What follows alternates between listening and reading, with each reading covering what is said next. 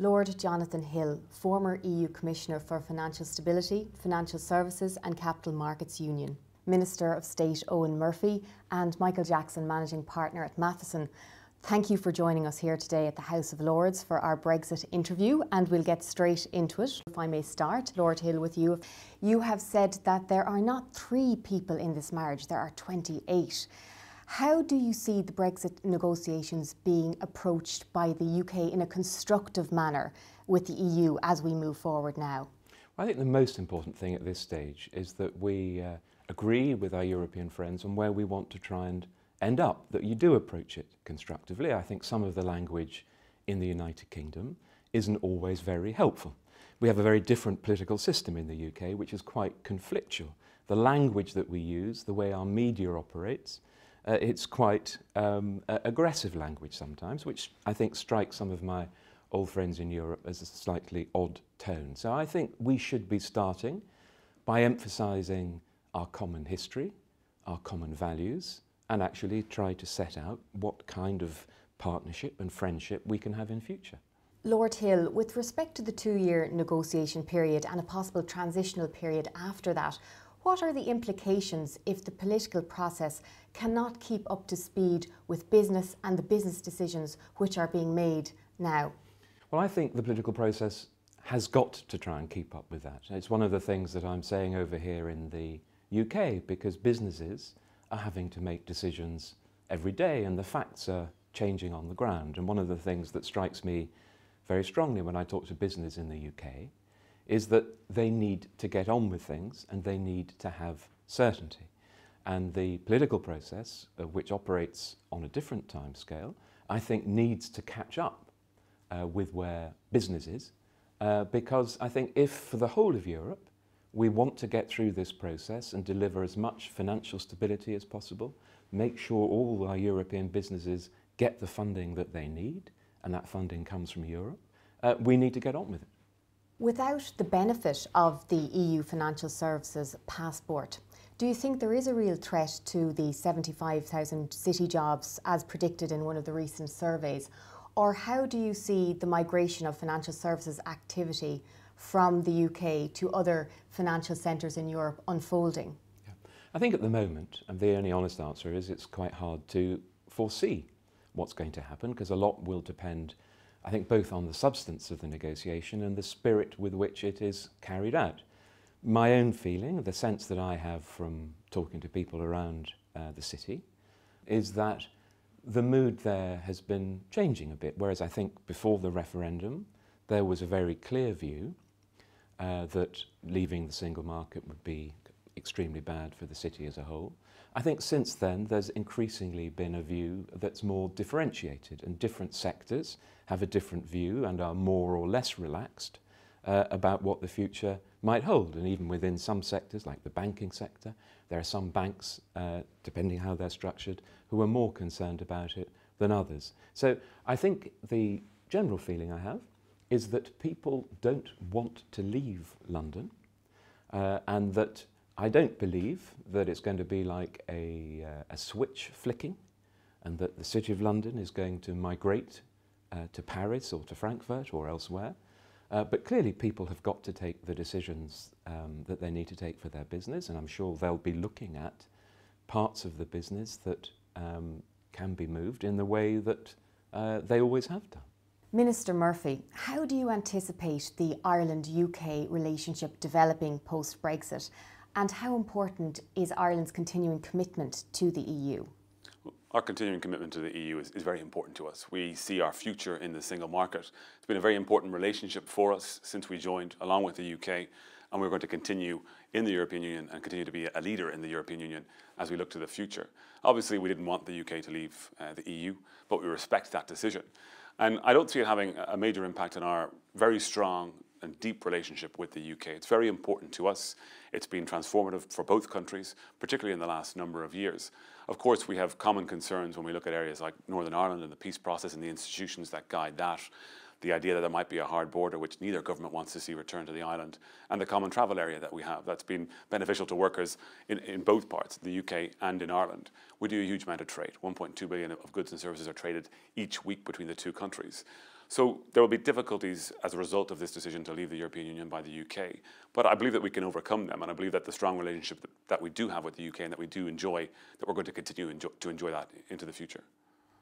Minister Murphy, the Irish Central Bank has said that within its planning for this year, it has reflected the additional resources that it anticipates will be needed to deal with increased applications from UK based financial services companies for authorisation in Ireland. What other considerations have been or are being taken into account in Ireland in order to support companies who are seeking to establish operations in Ireland as well as their UK based operations in financial services? Well, I think from Ireland's point of view, we believe that London's going to continue to be a strong global financial centre. We think that's in the European Union's interest as well, that it does. But we have recognised that certain companies, because of their due diligence and their contingency planning, fear that they might not be able to continue to access the single market after Brexit. So they have come to Ireland and they've met with the central bank and they're looking about possibly relocating some of their business into Ireland to continue to have access to the single market. And as a result of that, the central bank has to reprioritize some of its staff and draw down extra resources, depending on what types of the industry or what parts of the industry might relocate. And I think that's important that they do that. Of course, our central bank is a very strong independent regulator. And a lot of the companies take a lot of comfort from that because they want to operate in an environment where the regulation is robust, where they're dealing with experts who can speak at their level. And so there is that security and stability in the, in the new market that they're coming in to, to operate in. Uh, but the government is looking at this across every spectrum of our contingency planning in terms of what we might need to do to make sure that we can facilitate and host these companies and the extra resources coming in. And that means, like everything, looking at staff in the central bank, looking at our international baccalaureate offering, which we are improving with a new school opening in the next couple of months for 800 pupils. We've got issues around capacity where we're addressing those in terms of transport, new linkages, a second runway for the airport. There's a dedicated housing minister now and a housing authority that's opening up new land banks to put in those additional resources in terms of accommodation, but also office blocks. And actually, when you look at office space, we have 3.5 million square feet under construction at the moment, another million square feet under refurbishment and planning permission for another 5 million square feet as well. So if we're going to see relocations out of the UK, we say that Ireland is a natural location of choice because we have all this planning put in place to accommodate firms relocating. Obviously, as well, we're a common law jurisdiction, which makes it easier to, to move people across, you know, English-speaking uh, country as well. So, so natural benefits for companies, not just UK companies as well, but, but companies who've chosen the UK as their gateway into the single market, but are from other parts of the world, particularly uh, in Asia and the Far East. They can now see a, a much easier environment to relocate into versus other jurisdictions in the European Union to continue to have that single market and have that access, but also to have a strong presence here in London. And Michael, what are your views on that in terms of the idea of the preparations that can be made in Ireland? One of the more important messages that Ireland has been delivering is the message that for Ireland this is about partnership rather than a predatory engagement. And I think, as Lord Hill has mentioned, UK firms don't necessarily want to move out of London it is very important that the engagement and dialogue is constructive and that where they feel they need to move from London, they can be satisfied that their needs will be met where they move. Ireland's approach differs from some other jurisdictions in that we're attempting to approach this in a partnership way rather than in a predatory way. And I think that's something that is welcomed by a lot of the clients that we speak to in London. They are looking for certainty of access to markets, they are looking for certainty of access to skills. They are looking for certainty of financial and uh, fiscal treatment.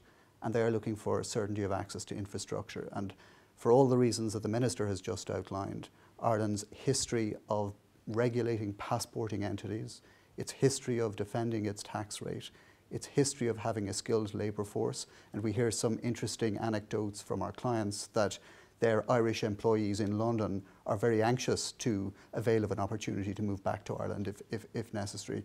For all of those reasons, we think that Ireland is well prepared to facilitate the gradual shift, and I believe it will be a gradual shift, of activity from London to Dublin. Michael, regarding your clients and the trends that you are seeing right now on the market, what are the key issues which are identifying themselves as, I suppose, the most important for your UK based clients at this time? The primary issue for clients who are looking at their options is whether there will be certainty of access to markets. Uh, they don't necessarily want to move large chunks of their business, but they need to move those parts of their business which require continued guaranteed access to the European Union. And that's why the Irish government's ongoing, clearly stated commitment to Europe is very, very important to our clients. The second thing our clients are looking for is to minimize disruption. They want to do things in a way that minimizes disruption for their own internal business and for their clients as far as possible. And so looking at ways in which they can manage the transition that's going to be necessary in a way which minimizes disruption is very, very important to them. And that means dealing with a regulator who speaks their language, not just literally, but in terms of understanding their business and understanding their business needs. Our clients are looking for certainty of regulation, but sensible regulation. And they're also looking for access to infrastructure and access to skills. I look out of my office window, I see more cranes than I've seen in a very long time. Uh, I look at Dublin Airport and the development that's happening there. The Dublin to London route is one of the busiest routes in Europe, and Ireland continues to add additional connectivity through Dublin Airport. So, all of those things are very important to our clients, but the most important thing for them is that they're working in an environment which minimises the disruption to their business and to their clients. And Lord Hill, looking across the Atlantic and Prime Minister Theresa May's recent visit to the White House and to meet President Trump, what is the likelihood of the prospect of agreeing a UK US trade deal and what might be the realistic timing on that? I think two things about that trip. I think, first of all, the uh, importance of the um, under underwriting the guarantee that she secured from President Trump about support for NATO was extremely important for the whole of Europe. And I think that illustrates the point that if we think of the future relationship between the UK and the EU in a positive way, you can find things that we've got in common that we need to work on together to achieve, rather than talking the whole time about things that divide us. And I think if you can get into that uh, mindset, then the process of leaving will be less disruptive than it otherwise might be. So far as the trade deal is concerned, uh, I think it's clearly the case that President Trump wants a different approach to trade, that the multilateralism of the past, regional deals that people have been doing for some time, he wants to move away from, and he clearly wants to do bilateral deals. And I think as a deal maker uh, by, by background, uh, he will want to crack on with a free trade deal with the UK. Uh, obviously, it can't be concluded till after we've left. So I, th I think there clearly will be something, but what its scope will be and the scale of it, the ambition of it, not yet possible to say. But I, I, I think the intent to deliver something rapidly for him as well because of the broader message it will send about his approach to diplomacy. So I think we can expect to see something in a fairly short timescale. Lord Hill, following the recent interventions by not one but two former prime ministers warning of the costs of Brexit and the possibility of a, of a second vote, another vote, how would you respond? Well, first off, everyone's got a right to express a view in this debate. So I'm not one of those who think that they shouldn't be allowed to say what they think. What I do think, though, is that any thought or talk about a second referendum uh, is completely mad. Uh, I know that in Ireland you've had second referendum, but here we did not say to the British people, this is, let's hear your opinion, this is an advisory referendum, and if we don't like the answer, we'll have another look. You know, we don't do referenda very often in the UK. We said to everyone, this is the biggest decision that you're likely to make in your lifetime. I was a Remainer, but I think you have to accept the result that the people delivered. And I don't think it was uh, an accident. I don't think it was a fluke. So I think you have to accept it as a fact and then get on with it. The other reason not to have a second referendum is a practical point to do with how the negotiation might proceed. If you think the whole time that at the end of it there might be a referendum that puts the negotiation into question. Why would my European friends be, feel they can negotiate in good faith? How can the Brits negotiate in good faith? And what I basically feel is, whereas in Britain we're obsessed by Brexit, and understandably we think about it from our point of view, we've got to get on with our life Europe's got to get on with its life. It's got to work out what it's going to do at 27. It's got big issues that it needs to grapple with. So I have a very simple, pragmatic view, which the thing has happened. And in life, when things happen, whether you like them or not, the better thing is to get on with, to face them, to front up to them, and get through them. And the quicker you get through them, the better it will be for Europe, the better it'll be for Britain, the better it'll be for business, and the better it'll be for everyone who gets on with the rest of their lives. And finally, some crystal ball gazing. Lord Hill, you have noted that the polarised nature of the political and media debate to date on all of this is making things harder. How would each of you rate, from where we're standing now, the likelihood of success of the Brexit negotiations? I'm hopeless at percentages. What I do know is that the people I talk to in Europe, the overwhelming majority, want to sort this out in a way that uh, it makes as much sense for all of us as we can. No one wants to cut off both our noses to spite our face. And I think if we go about it in a sensible way, we can come out the other end with a different relationship, but one that still works for Britain and for the EU. Minister Murphy? Well, I mean, as I look at it, failure is not an option. And to echo what Lord Hill said, if we approach this as a zero sum game, we're going to come to a very difficult and maybe a disorderly outcome. But if we realize that we can come through this and have beneficial outcomes for both sides, then we could get to a positive place at the end of the process. And we don't know at the moment where we're going, but if we can make sure that we keep order and pragmatism around the negotiations, I think we can get there in a successful way. And Michael?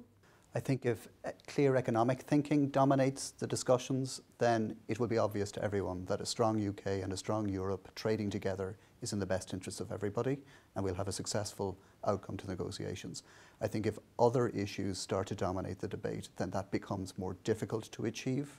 And I do worry that the two-year time frame provided for in Article 50, which is shorter than the average length of time it takes an EU directive to get through the legislative process, and much shorter than the average length of time it's taken to negotiate trade deals up to now, that that short time frame will militate towards other issues dominating the discussion. So hopefully the process can be one which reduces that risk and as the Minister and Lord Hill have said, enables people to get together in a constructive way to make sure that we do the best thing for everybody. Well, we'll wrap it up now. A sincere thank you to each of you for joining us here today for our Brexit interview and for sharing your expertise and insights with us. Thank you.